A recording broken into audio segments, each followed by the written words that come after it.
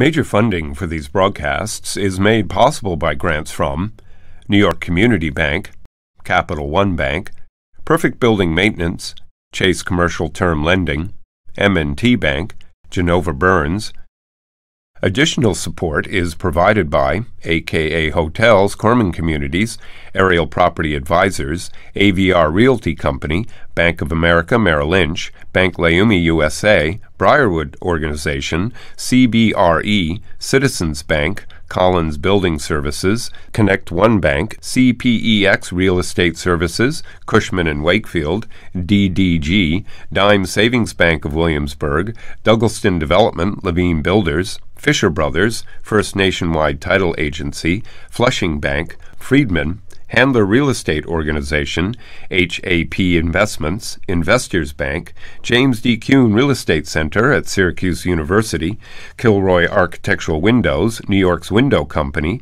Madison Realty Capital, Mattone Group, Mercantile Commerce Bank, Meridian Capital Group, New Banks, Optimum Window Manufacturing Corp., People's United Bank, Rosewood Realty Group, SJP Properties, Sterling National Bank, Stonehenge Partners, TD Bank, Terra CRG, the Continuum Company, the Moynihan Group, and these friends.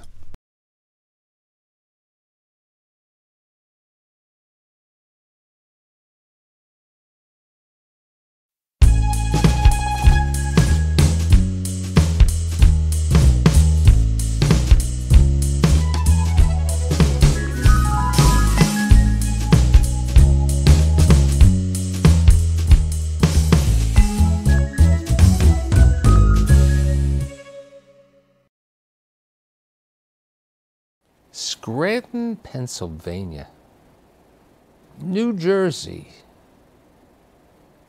I want to. I want to be a golf caddy. I really want to play golf. Nah, go to St. Benedict's, Syracuse University.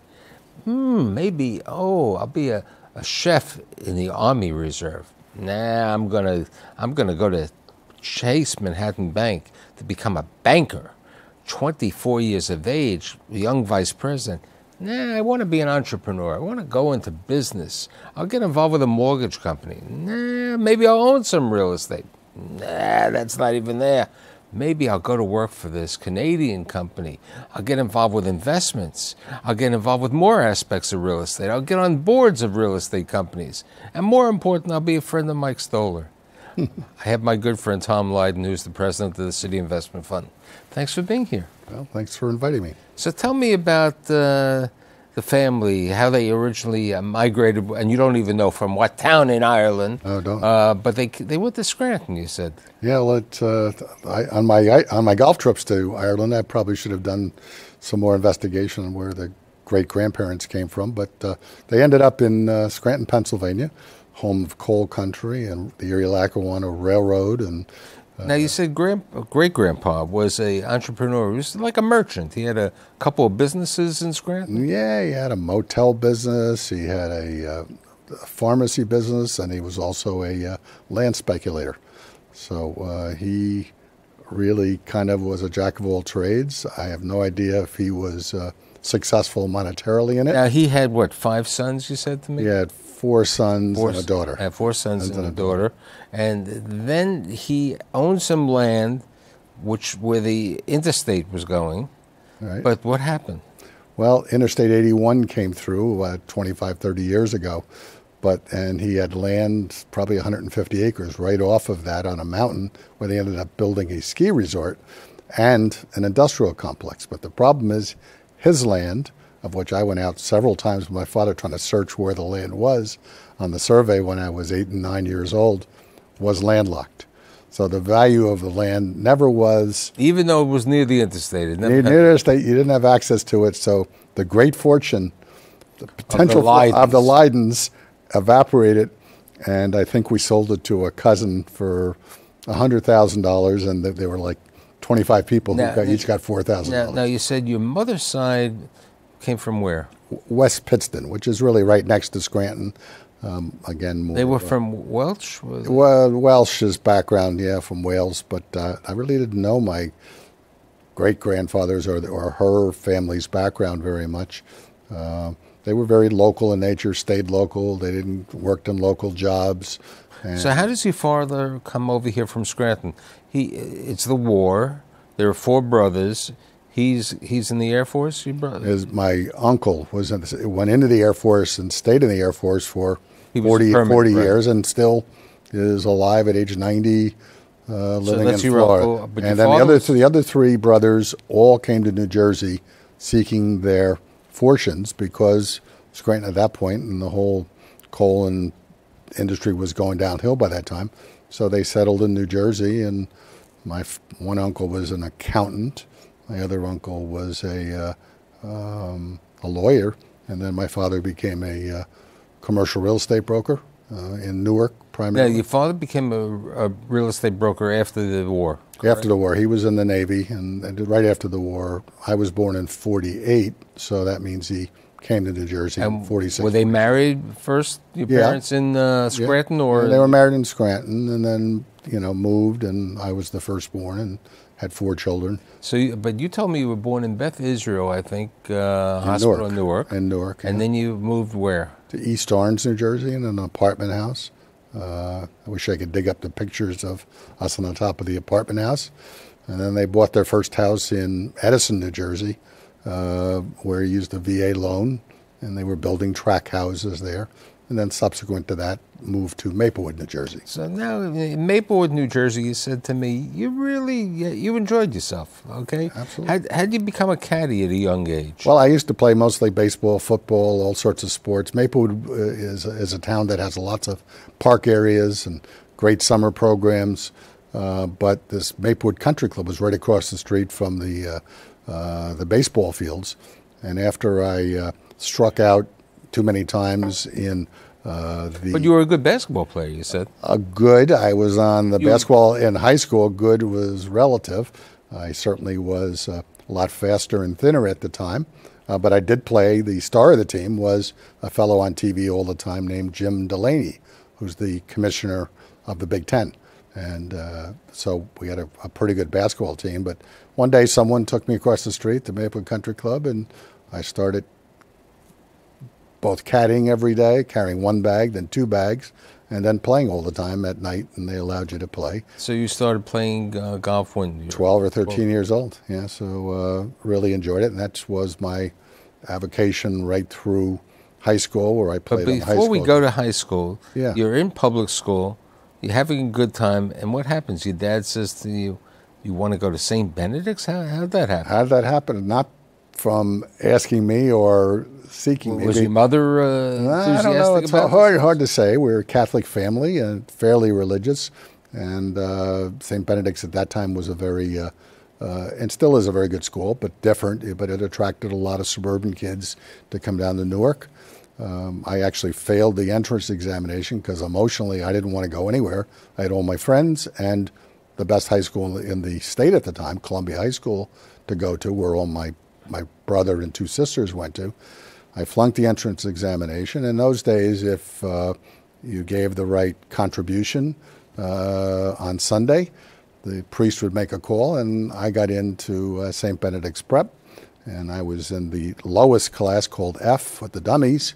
And then by the end of the semester, I had moved up to A after I perhaps overcame my uh, emotional reaction to uh, to going there. My brother subsequently did the same thing, but he left very quickly, and my father let him off the hook. I enjoyed it, uh, and still are friends. but you continued also at that time working as a golf caddy. Yeah, as a caddy in the summertime, and I played on the golf team at St. Benedict's, and uh, so that was my again But, but sport. during this period of time, you said to me your dad, who worked for David T. Houston.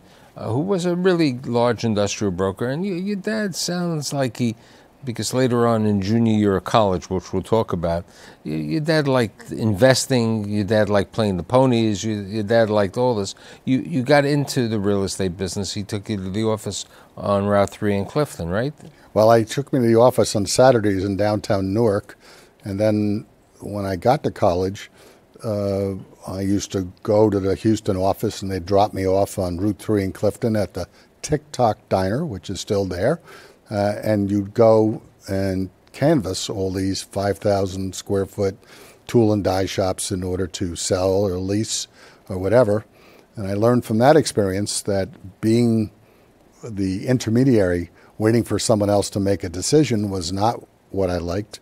Um, so even though I did it for a couple of years, I don't You know. realized brokerage was. I realized brokerage is not for me, and that's probably one of the primary reasons I ended up with Chase Manhattan Bank as my first uh, job.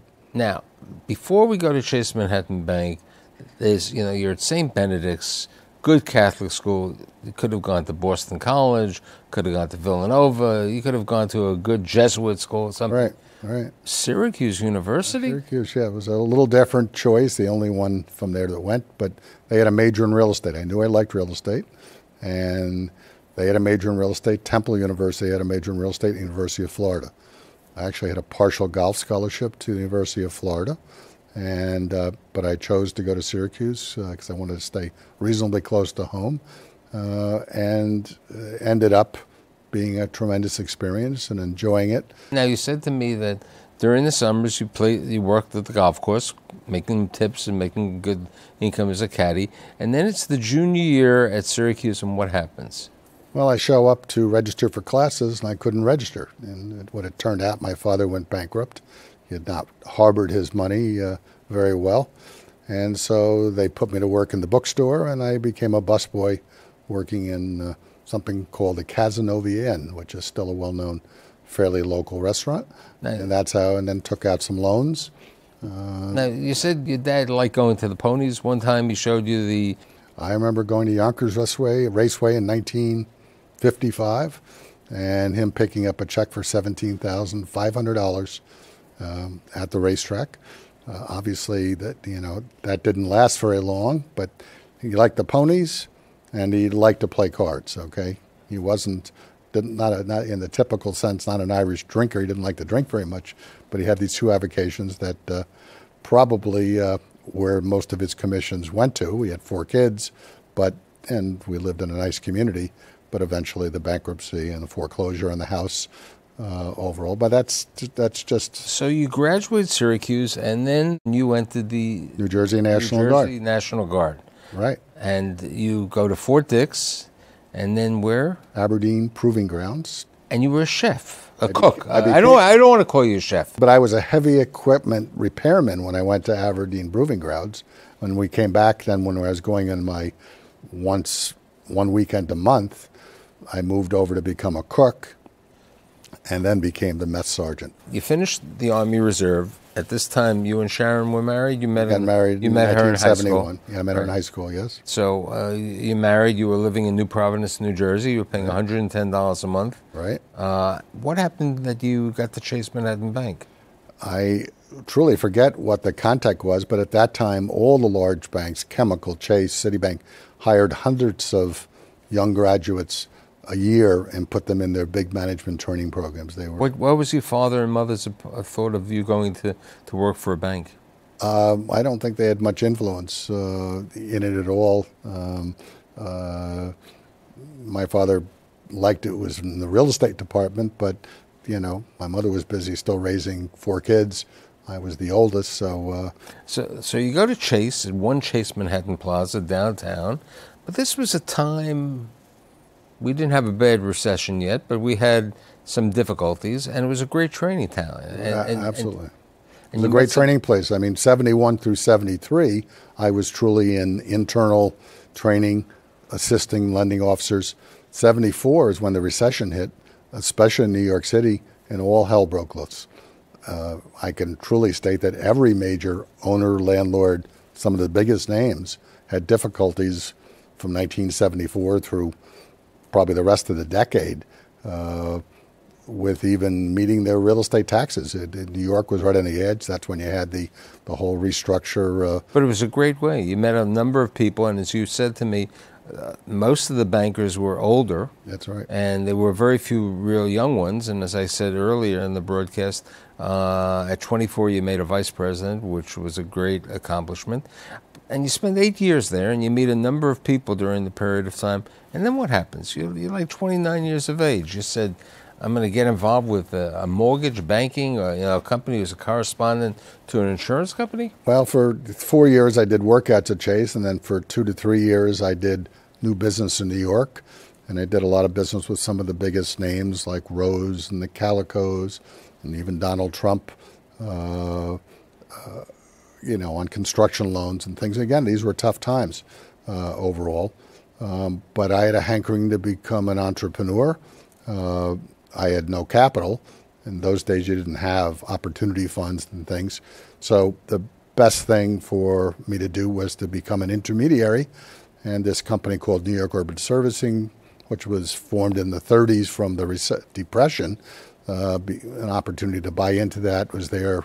Represented John Hancock, Equitable of Iowa, Penn Mutual, and some other life companies.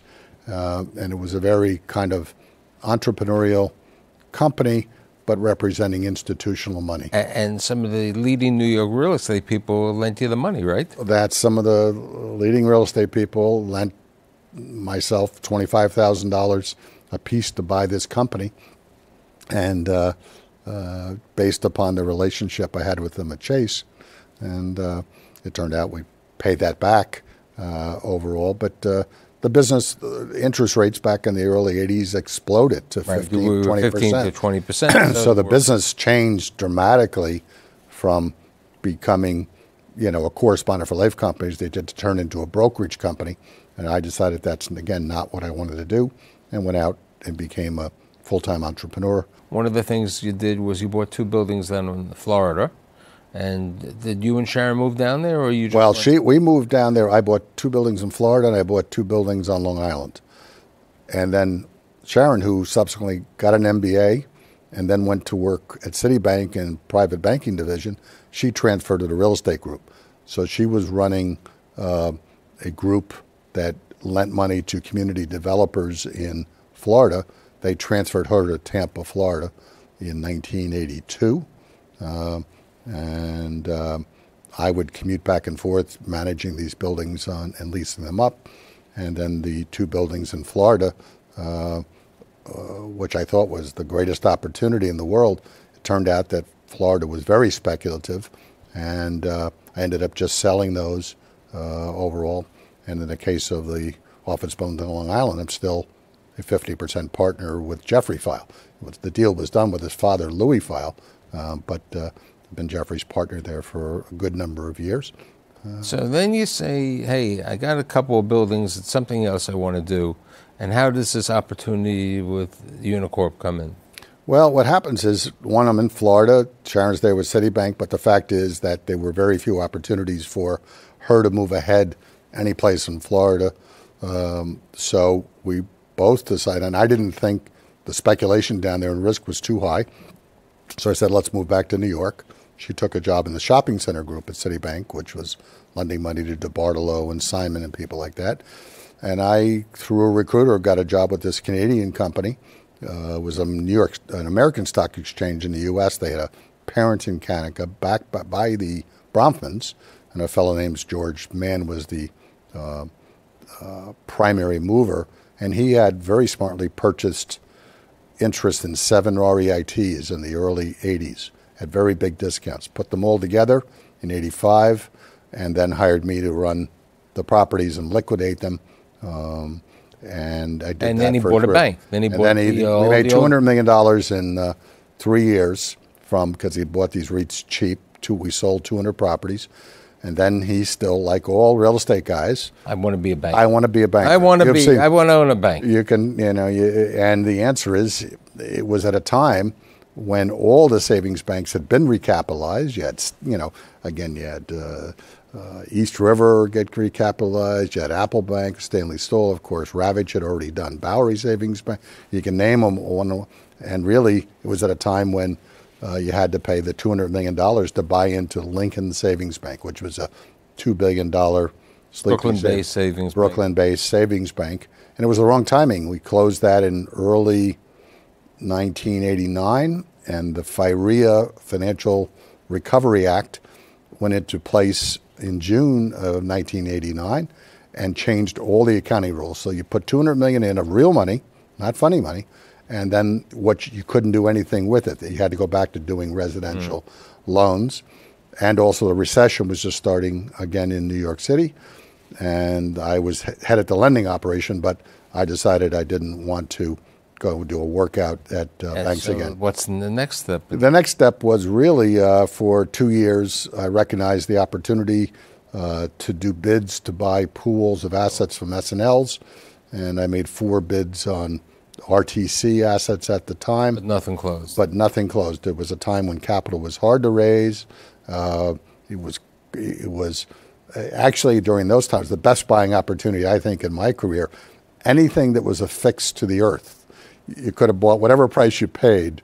Uh, you'd make money. You didn't have to add any value, and that's why the investment banks, Goldman Sachs, Morgan Stanley, and others, made a fortune buying these things overall. But that didn't work after two years. Um, and then my son, at the time, um, had a physical problem, and I didn't have any health insurance, so I took a job um, with Mutual Benefit Life, which had gone bankrupt in July of right, but uh, Victor Palmieri, who Victor Palmieri was who- hired by the state of New Jersey. right, who uh, prior to that took care of Grand Central, uh, Grand Penn Central, the Penn Central, and uh, they went bankrupt through a liquidity crisis through real, because of the real estate assets. They had 400 million invested in Fisher Island in Florida, 250 million invested in Williams Island in Florida. Didn't they also have investments in Broadway shows? I think Phantom Broadway, the Opera. yes, it is. They were in everything, and it was all hidden. You had something called statutory accounting in insurance companies. You didn't have GAAP. These were all off the balance sheet. The regulators couldn't believe it when they saw it.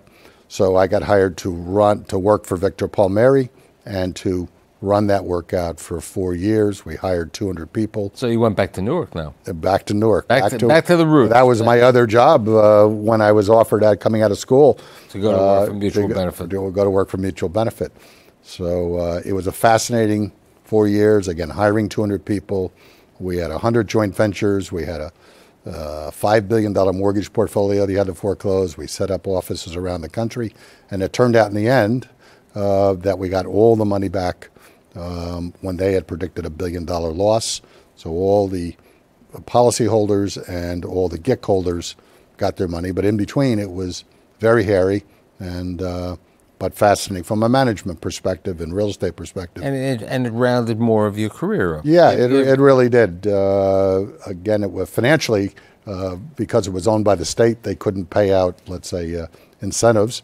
Uh, but uh, for the management experience and the uh, insights you gained, and I was able to use the workout skills uh, I gained in the 70s. So now there's another insurance company who says I, I could use your advice. How does that come about? Well, I, would- they were the board members of Mutual Benefit were state people, and then representatives from Prudential, MetLife, and others who were guaranteeing to the GIC holders uh, their debt if they would hang in there for six, seven years.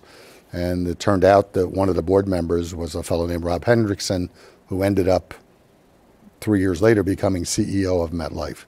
He approached me to head up a subsidiary that they had started that was in White Plains, which was a third party investment management uh, subsidiary, and they needed to uh, add some people with broader skills. So now this was a company that they were buying properties. Uh, they were representing pension plans. They had an open ended fund called the Tower Fund. They had several Japan, um, Japanese owned REITs that they had convinced uh, mutual life insurance companies from Japan to invest in, putting in general account assets. And they had a couple of separate accounts. So it was about a $600 million company, which was small. Uh, they wanted to grow it.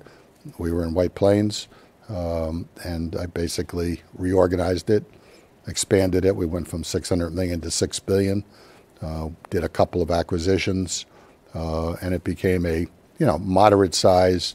But you were on the road now all the time. Well, the, your job as a CEO of an investment manager is uh, three things every week. One, you got to go out and try to raise money uh, and pitch.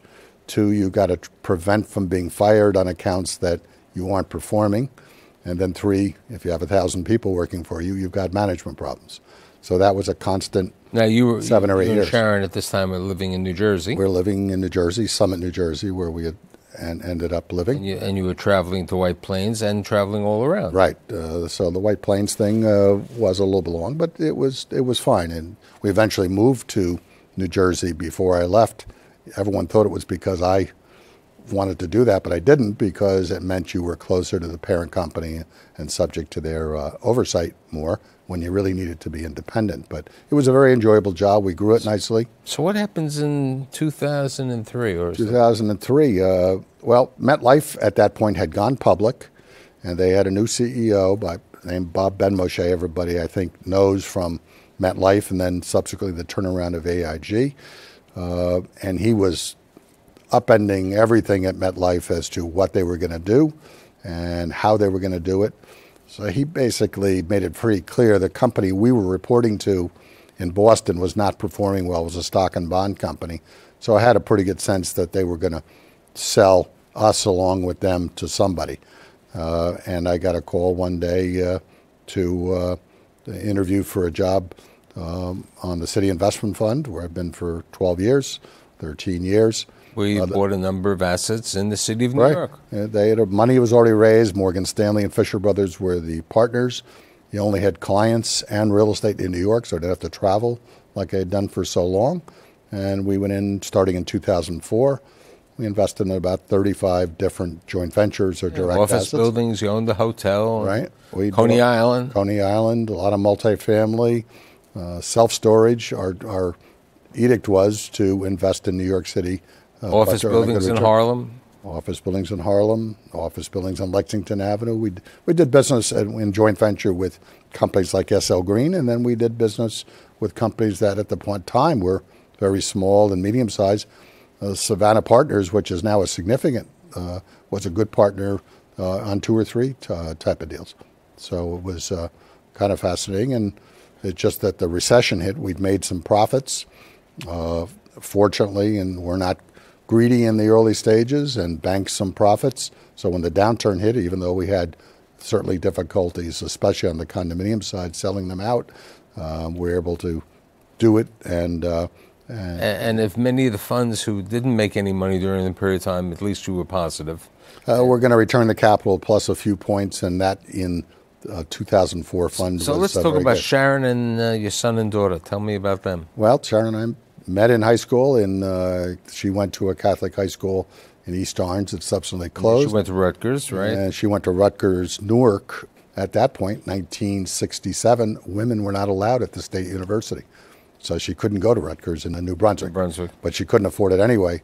And her father, father had died when she was on, six. Right. So she went to Rutgers undergrad, took a bus every day down to Newark, graduated uh, from there, and took a job as a uh, uh, uh insurance person doing claims with uh, Liberty Mutual uh, Insurance Company in East Orange. then we encouraged her to go back to school. She went to Rutgers and got an MBA in 1975 then got hired by uh, Citibank. by Citibank and private banking division for several years, and then subsequent to me leaving Chase, she transferred to real estate. And let's talk about uh, your son and daughter. Well, my son, he was born in Tampa, Jason. Yeah, he pretty much was local. They both went to Fairfield University. Your daughter's name is Jessica, and she was born in 1988. And uh, Jason caught the real estate bug, and he's at CIT working for Matt Galligan, right. who's a fellow who I worked with years ago, and he's a and director. Jessica? And Jessica, she's going to be a registered nurse in the next couple months. She lives in Hoboken, and uh, we live in New Jersey, uh, but we're hoping to spend more time in Florida over the next uh, couple years as I liquidate this so, fund. So, so the the golf caddy continues to play golf all over the world, enjoys himself, and has really become a one of the deans of real estate and a good friend. Thanks for being here today. Thank you.